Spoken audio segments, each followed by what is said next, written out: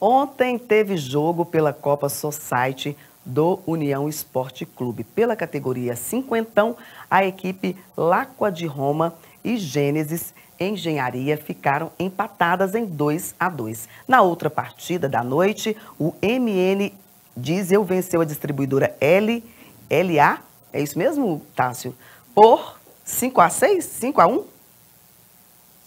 6 a 1. Então, portanto, aí foi o resultado dos jogos da Copa Society do União Esporte Clube.